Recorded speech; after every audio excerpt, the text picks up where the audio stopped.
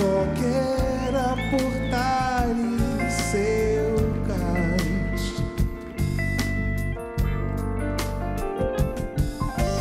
Mas que os objetos luminosos,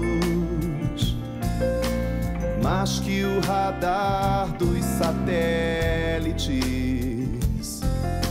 seus olhos captaram os meus a mais nova constelação.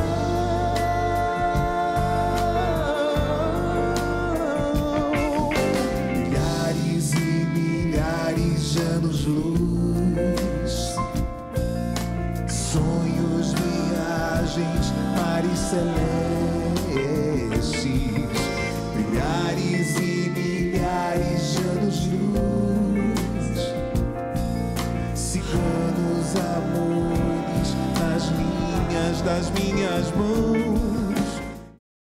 Refrão está de volta e recebe hoje o cantor e compositor Beto Dourado. Beto, recentemente, em um dos seus shows, o Parceiros, eu vi, eu pude ver a, a sintonia entre você e o Jorge Versilo.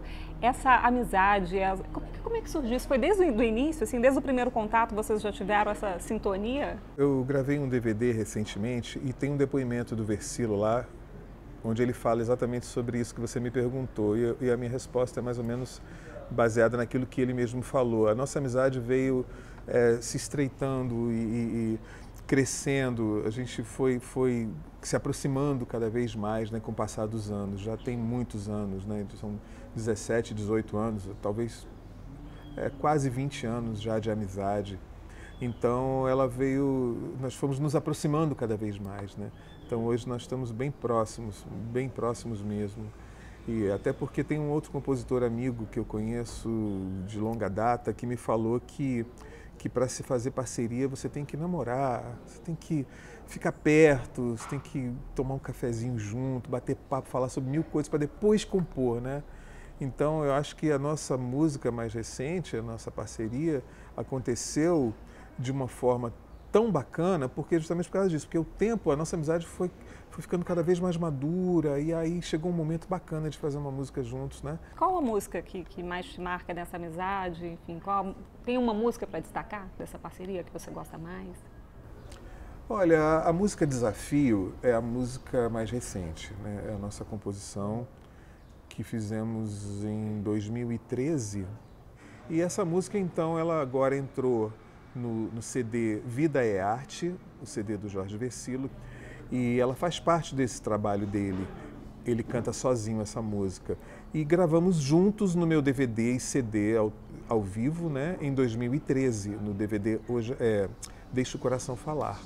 Hoje eu desejo voar, sobrevoar cordilheiras,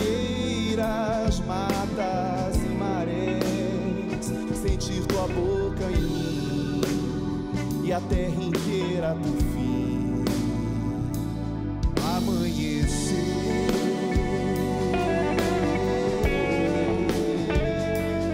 amanhecer.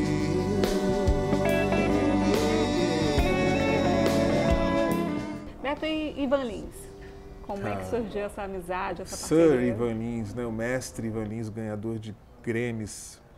É uma honra muito grande, o privilégio estar ao lado de, um- de uma figura daquela. Né? O Ivan é um querido, ele é um mestre para mim. Tá? Eu aprendi muito com o Ivan Lins e, e é uma pessoa de um coração gigantesco, um, um ser humano incrível.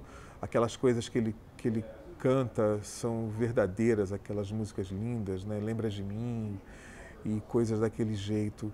Ivan hoje é um grande amigo, além de parceiro musical, de composição, é um grande amigo. Vocês já tinham Ivan é uma figura. escrito juntos, já tinham uma composição juntos. É, nós compusemos a- um- uma música chamada Nas Ruas é, e gravamos em 2014, no ano passado.